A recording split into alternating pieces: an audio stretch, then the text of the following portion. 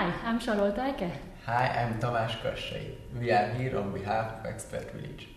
We are going to show you how to dance a paso doble. We are showing you now paso doble traveling spins with partner.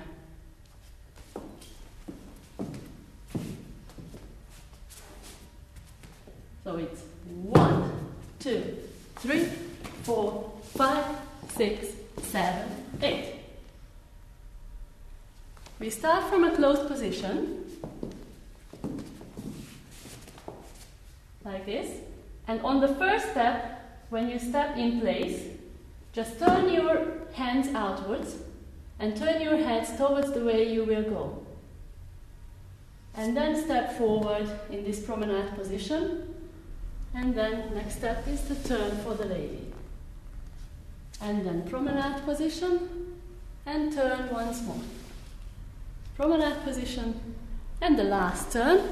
And at the end of the last turn, the last step is in a promenade position in close hold once more.